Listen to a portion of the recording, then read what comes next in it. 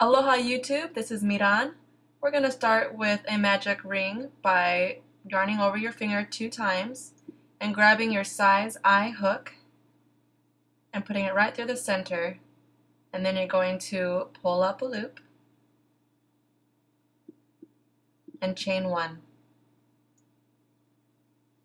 In your first round, you're going to do nine simple crochets.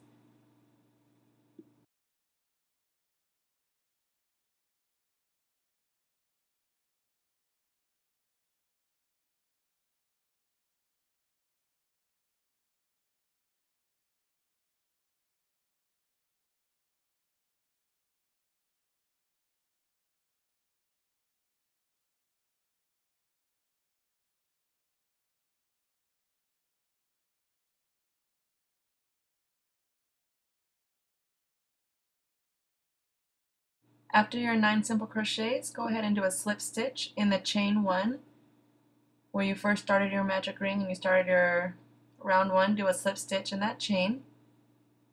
And then if you notice that tail that you have starting right there, you're going to pull that as tight as you can. Row 2, going right into that first stitch, do a slip stitch, chain 4, 1 treble crochet and 1 double crochet all in that stitch. Now if you watch closely, I take my tail and I just move my yarn around it because I want to weave it into my work as I'm crocheting.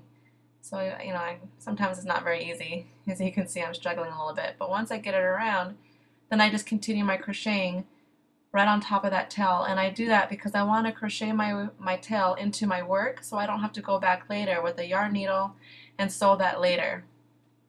So if I crochet with it, then it's a lot easier. So again, you do a slip stitch, chain four, a treble crochet, and a double crochet and that first simple crochet. And again, I'm just pulling that tail around so I can crochet on top of it so I can weave it in as I'm crocheting.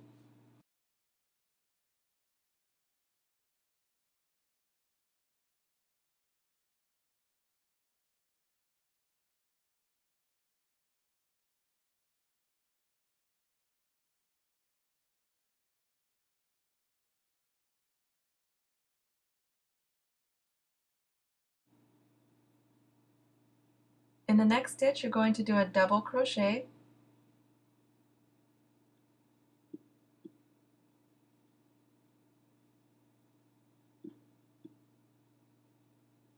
In the next one, you're going to do a half double crochet.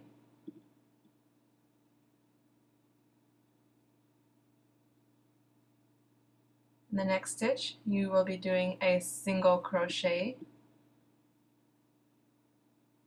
In the next stitch you have three single crochets. And again, if you can see that tail, I'm just holding it against my work and crocheting right on top of it. So you're going to do three single crochets in that stitch. After you do those three single crochets, the very next stitch will be a single crochet as well.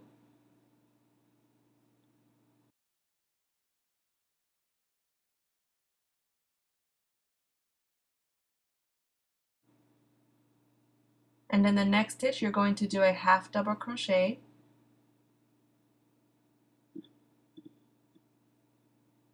The next stitch is a double crochet.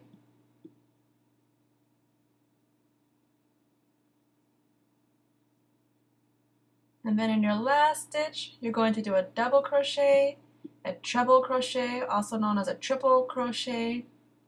And then you're going to chain four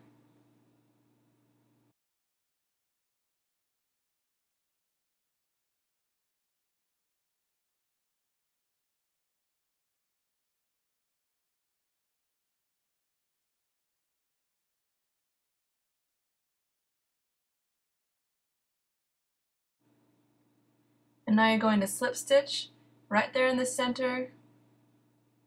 You can slip stitch right where your chain four starts too, it doesn't matter. So now that you're there, you're done. Now all you gotta do is chain four. And this is gonna give you that little loop so you can string it on to stuff. so chain four and then do a slip stitch again right there in the center.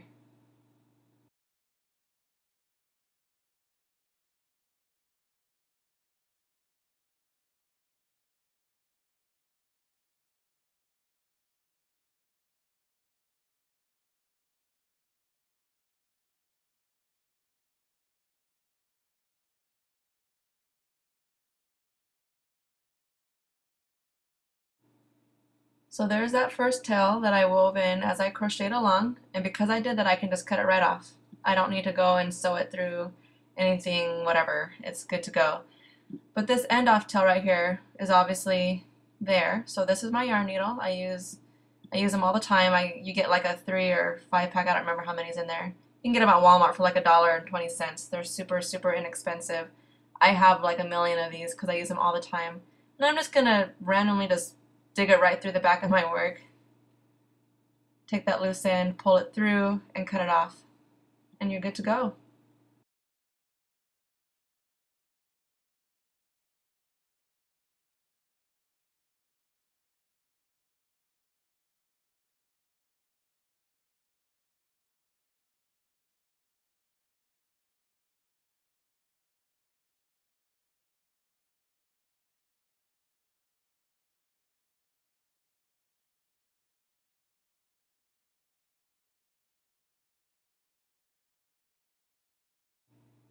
So now I'm using two yarns and making a slip knot.